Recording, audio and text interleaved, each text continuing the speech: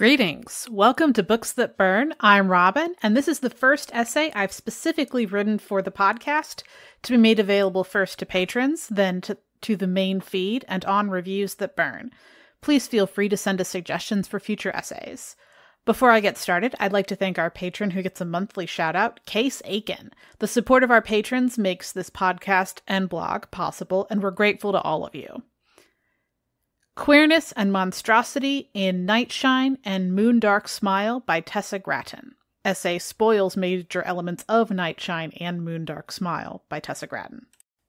Playing with conceptions of monstrosity and queerness in both the strange and gender senses of the word, Nightshine and Moondark Smile take the reader on a transformational journey which invites them to see themselves in an assortment of queer and fantastical experiences featuring young people at many possible stages of queerness and gender nonconformity. They model paths from non understanding to joyful strangeness and many shades in between. The duology shows the importance of defying boundaries to achieve strangeness, the need to embrace change to allow growth, the joy of queer adults as role models, and the power of names in shaping one's identity. In the world of Nightshine and Moondark Smile, magic is the domain of those who are outside of binary social roles, whether due to gender or some other facet of themselves which is unable to fit neatly into two generic options. A core feature of the world building is that in order to do magic and or become a sorcerer, one must transcend dualities in some way. Most of the ways to accomplish this make one monstrous in the eyes of society, such as straddling life and death because the mere fact of becoming someone with magic means that some core social assumptions have been transgressed, their binaries blurred, sorcerers are assumed to be monstrous. Those remaining in normal dualities don't have to know exactly what someone did to become a sorcerer in order to be certain that they have done and continue to do something strange. Before Nightshine began, Nothing was the demon of the fifth mountain and the familiar of the sorceress who eats girls. The sorceress gave that demon half her heart, and the demon was reborn in human form as Nothing, companion to Prince Kirin. It is this partially missing heart which drives the sorceress to eat girls in her efforts to keep the mountain alive. If she can persuade Nothing to return to her and resume their previous relationship, she won't need to consume girls to survive, thus helping her be less actively monstrous without diminishing her queerness. Upon meeting her and getting to know her, Nothing started to fall in love with the sorceress, becoming torn between her loyalty to Kirin and her new love for the sorceress. The sorceress who eats girls is implied to do so both metaphorically and literally. In the opening chapter of Nightshine, the sorceress bargains with a young girl for a kiss, and then when offering a second one, she consumes the girl whole. That chapter is shown from the girl's perspective, and it feels like it's meant to set up a horror story, even though that's not the story genre overall. Switching immediately to Nothing in the palace, figuring out that her prince, Kirin, has been replaced by a copy and is actually somewhere else. Soon, Nothing and the Prince's guard Sky find out that the sorceress who eats girls has kidnapped Kirin, the prince who is also a beautiful maiden. It's a strange kind of gender affirming experience where being kidnapped and locked up is an objectively terrible thing, but it's one that happens because the sorceress recognizes Kirin's femininity within his overall gender queerness. Nothing is confused when she finds out her prince has been kidnapped by the sorceress who eats girls, as it implies something about Kirin that doesn't fit with Nothing's understanding of gender, and she wasn't previously privy to any of his gender nonconforming feelings. Kirin, son of the Empress and her consorts, is determined to be the next ruler and is willing to hide his gender queerness for the sake of gaining and keeping power. He's possessive and controlling, assuming that his friends' wishes will align with his, and pressuring them subtly however he can to keep them near without noticing their constraints.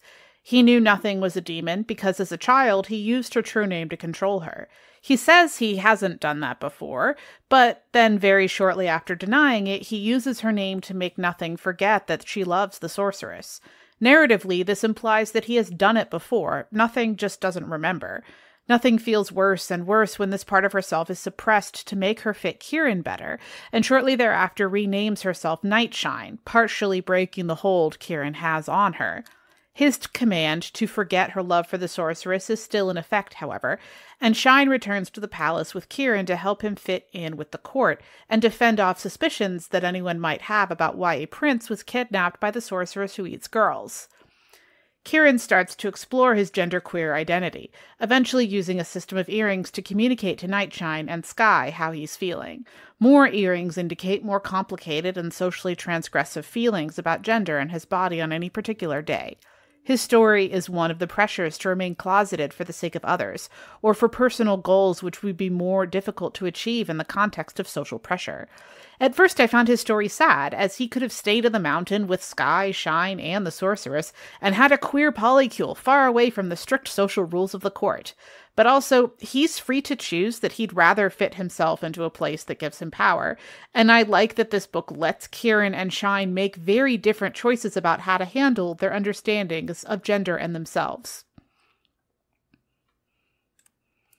Sky is Kirin's bodyguard, in love with him no matter what gender he is, and eventual friend to Nothing slash Shine.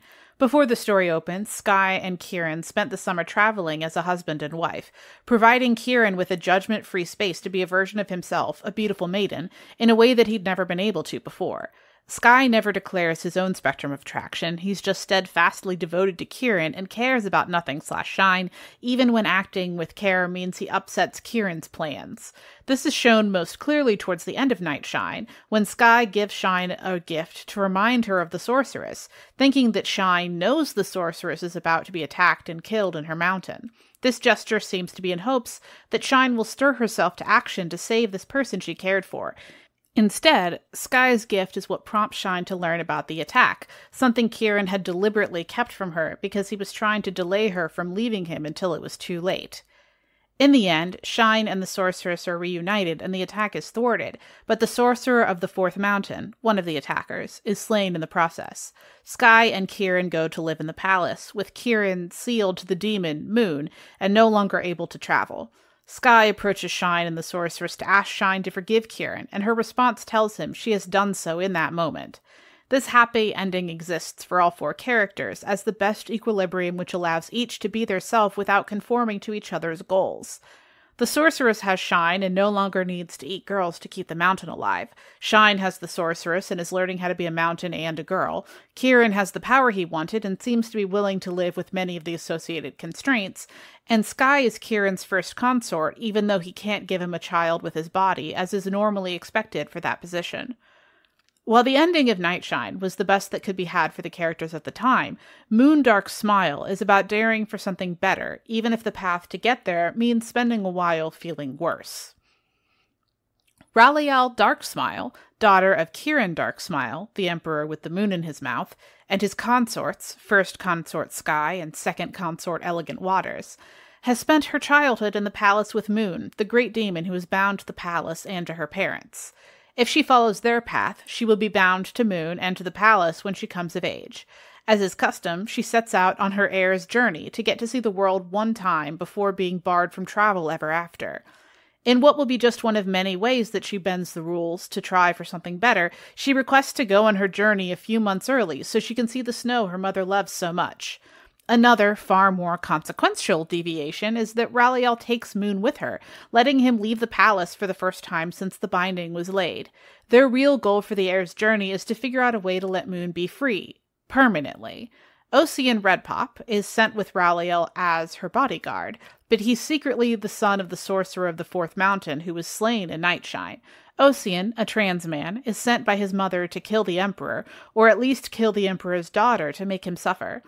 Accepted as himself for the first time, rather than as the daughter his mother raised, Ossian becomes close to Raliel and eventually turns against his mother's plans for vengeance. In Moondark Smile, the villains are those who refuse to grow and change, while the so called monsters embrace their queerness and reject binaries in order to become the best versions of their new selves. There are different paths to magic, but all involve stepping outside of binaries in some way, this can be through queering gender, blurring life and death, or anything that breaks the strict dualities which most people treat as inherent and immutable. Ossian's mother is an example of this refusal to change. She cannot accept that simultaneously her husband, the late sorcerer of the Fourth Mountain, was dead, and the people she saw as responsible were alive. She takes this even further by wanting to kill not merely Kirin, the then prince who played a role, but his child, desiring to replicate her own pain in him through the death of a loved one. Unable to accept that her son chooses not to kill Raliel, she sees his inaction as a failure to be corrected. Even after meeting Raliel and seeing how Ossian and Raliel were now friends, she tries to kill Raliel to complete her obsessive vengeance. Ossian's mother rejects the coexistence of uncomfortable truths, wielding murder in an attempt to eliminate the dissonance in her heart. She clings to dualities with a grasp so uncompromising that it turns her into the monstrous one, trying to kill a child who played no role in her original loss. Kirin Darksmile played a mixed role in Nightshine, both as friend and as antagonist, thwarting Nothing slash Shine's desires when they clashed with his own. He had one clear goal as a young man in Nightshine to ascend the throne and claim his power. It seemed as though, in pursuit of power, he had given up the chance to be seen as himself a prince, a maiden, and someone wilder and stranger than any one gender could encompass. In Moondark Smile, as the Emperor with the moon in his mouth, Kirin is accepted by his court and loved by his family. Because he'd made mistakes with Shine's name and autonomy in Nightshine, he takes specific steps to do better by letting his daughter choose her own name and to make it clear that if she didn't see herself as a daughter, all she needed to do was tell her family and take on whatever label felt right to her. As she set off on her heir's journey, she dressed in boy's clothes for the road, and he took the opportunity to affirm that if this marked an adjustment in her gender, he would welcome back a prince. This combination of quiet fluidity in his own presentation and occasional overt statements of support engendered in Raliel an acceptance of queerness and change in others, which serves her well throughout the rest of the story. When Ossian Redpop briefly betrays Raliel, the betrayal is the issue, not anything to do with his gender. As a reader living in a world where trans people are often treated as sneaky or deceitful just for existing as ourselves, it is one more positive detail for Ossian's gender to be such a non issue when he does something which hurts Raliel. This echoes the way that Kirin's betrayal of Nightshine's trust when she was still nothing is purely an issue of boundaries overstepped, not one of gendered duplicitousness. Kirin would have accepted Raliel coming back from her heir's journey as a prince, but that's not the change she has in mind. In order for Moon to leave the palace with Raliel, she and Moon used an amulet to give Moon a place to hold much of his essence outside of her. Over time, as Raliel and Moon learn more of sorcery, they begin to think that the amulet which enables their travels has begun to hold them back from becoming a sorcerer and her demon familiar. One of the stressful things about transitions, gender or otherwise, is that they usually mean spending some time feeling worse in order to feel better later. The in between can be a goal or just a place to land for a while, but the process of moving from a defined space to somewhere else is often stressful and strange, even if the end goal is something much desired. While it was useful for a time, continuing to reside in the amulet is keeping Moon and Raliel bound to dualities. They're caught in this awful middle zone where they need to break free of the amulet in order to achieve sorcery, but until Raliel is a sorcerer, they won't have the power to unbind Moon from the amulet. In the end, Moon figures out a solution which involves embracing sorcery through changing its name, in a move that most transgender readers will recognize instantly. Just as Nightshine's titular name change freed her from further control, Moon's new name describes a very important change to reality and forces an immediate action on a fundamental level.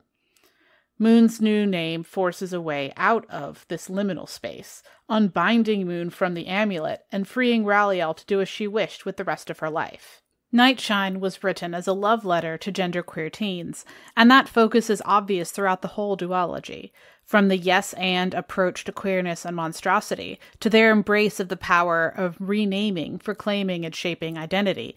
They celebrate beauty in the unexpected and finding oneself in the strange. Early in Moondark Smile, I was uncertain whether Kirin's genderqueerness was understood and accepted by the court, or if he only felt like himself around his family. Later in Moondark Smile, Raliel meets a trans woman who specifically says that Kirin's example as a prominent genderqueer person who was met with acceptance gave her the courage to live as her own authentic self. While it's not clear how many of the people at court and beyond understood his fluidity of gender, whatever level of coding is present is enough to serve as a positive example for others, even beyond the palace. By developing these characters across two books and specifically discussing how Kirin's example has helped others, Tessa Gratton shows generations of queer people thriving and figuring out how to be themselves in this fictional world.